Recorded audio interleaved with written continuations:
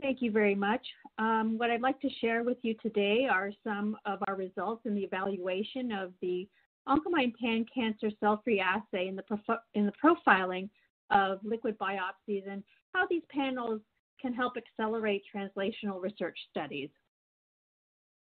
So these are my disclosures for today's presentation, as well as disclaimers. So the presence of free nucleic acids in the blood or other fluids has been known for some time, spanning back to the first reports in 1948 uh, when free nucleic acids were detected in the plasma of patients. Almost 30 years later, the interest in cell-free uh, DNA and, and, RNA surfaced again when a number of scientists began looking at the genomics of cell-free DNA in cancer patients and demonstrated that they possessed um, tumor-associated aberrations. Since then, there has been increasing interest in cell-free nucleic acids um, with what seems to be an explosion of work over the past decade. And this timeline just shows some of the uh, discoveries leading up to that tsunami of work in recent years. There are many types uh, of species of nucleic acids that can be obtained from liquid biopsies.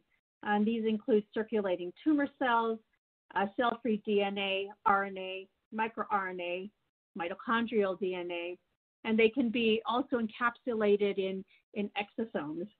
And this allows for a variety of profiling uh, across both DNA and RNA, which been, can be complemented uh, with standard biochemical protein testing or more sophisticated proteomic profiling. While we most often immediately think about blood, there are other types of liquid biopsy sources, and these include urine, sputum, uh, semen, vaginal fluids, ascites, or, or other secretions. I'm not going to spend a whole lot of time in the slide, um, but by now most of you are aware of the advantages and disadvantages of liquid biopsy profiling. But briefly, obtaining these types of samples are largely non-invasive, which means that there are possibilities for repeated sampling during the course of a patient's clinical management.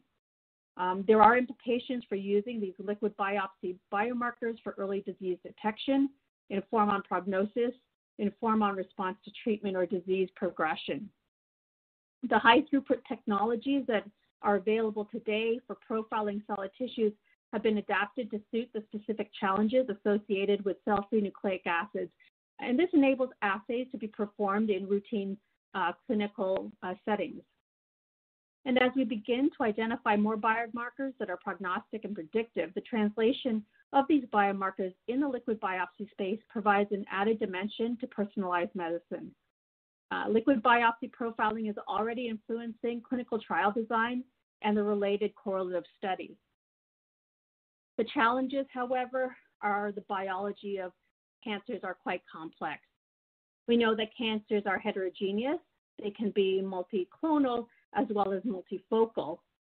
We lose the spatial relationships of these nucleic acids and how they might be represented in the solid tumor, whether that is from the primary or the metastatic site. And this can be complicated further by the presence of several metastatic sites. Other factors uh, that will influence the success of liquid biopsy profiling is the ability of the tumor to shed that material uh, systemically.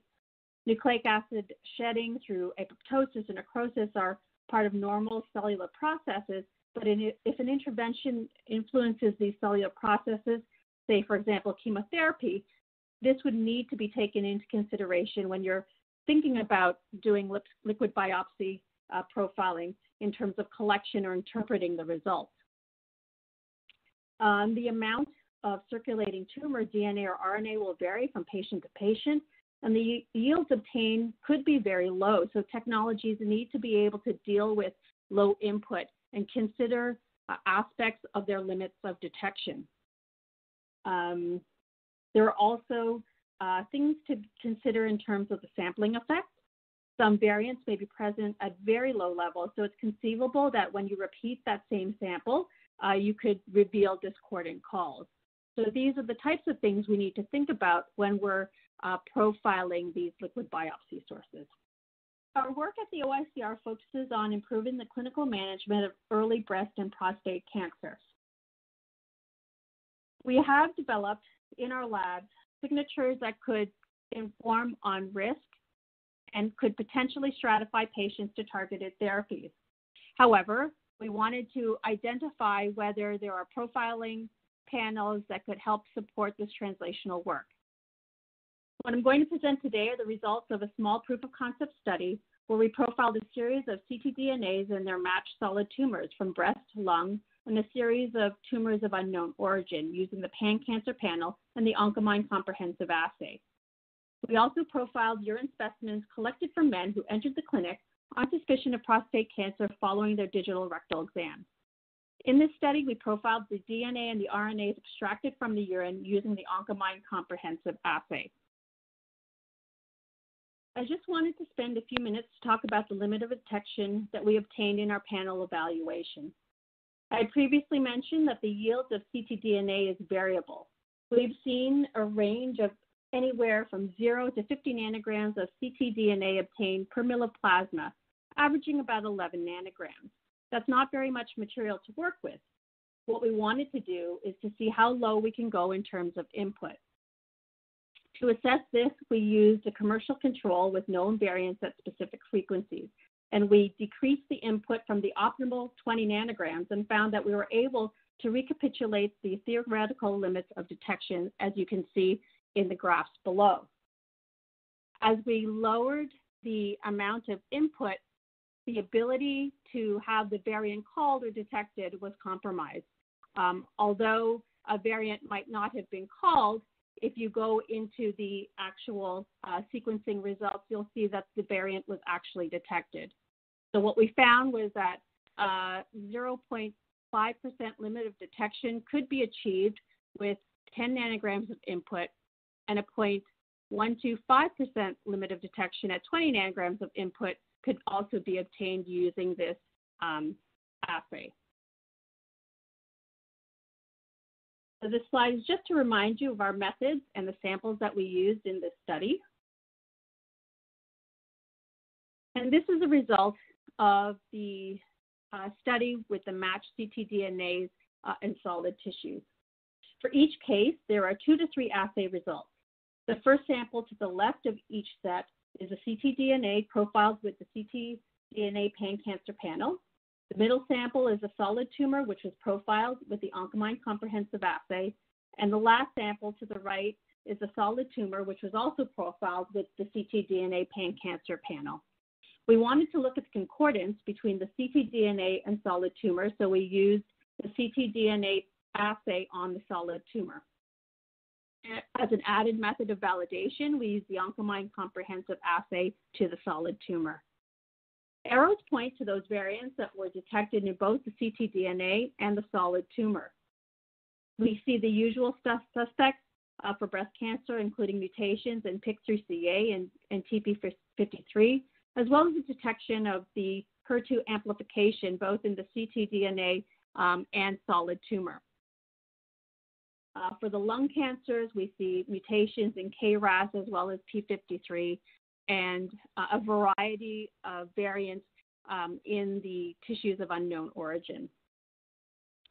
Uh, we were actually quite pleased with re these results, and the level of concordance or discordance that we observed is in keeping with what you might expect when taking into account the specificity of each assay and the content overlap. We're continuing to analyze this data informatically beyond the default filter set settings uh, to look at uh, various levels of detection. We then moved on to profiling urine from men who were seen in the clinic on suspicion of prostate cancer. The urine was obtained following their digital rectal exam and extracted for both DNA and RNA. Because there was limited DNA, we prioritized an NGS-based methylation assay uh, using a custom-designed methylation panel, and any remaining DNA was used to perform the Oncomine comprehensive assay. For the RNA that was extracted, I mentioned that we have derived signatures that could predict risk for early prostate cancer. One of those components is an RNA signature so we profiled the RNA against a custom nanostring gene expression panel. With the remaining RNA, we used the RNA component of the Oncomine comprehensive assay that contains fusions associated with prostate cancer.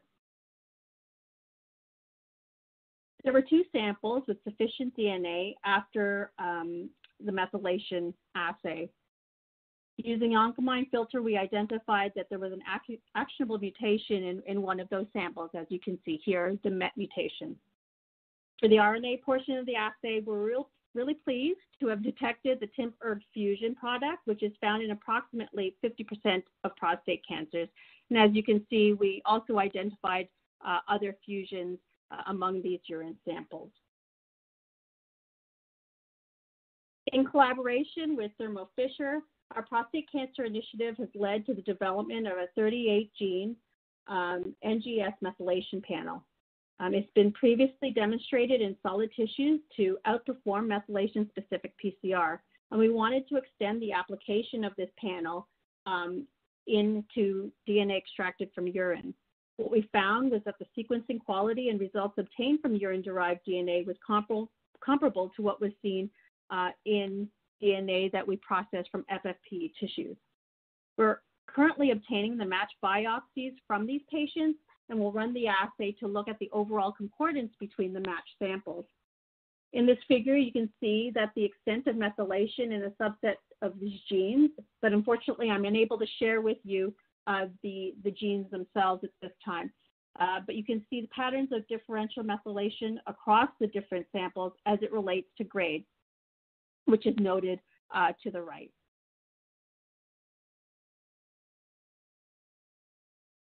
Um, what I hope I've demonstrated here today is that these validated panels and associated chemistries can support discovery, translation, and clinical grade profiling to address the different clinical management needs of cancer patients in the future.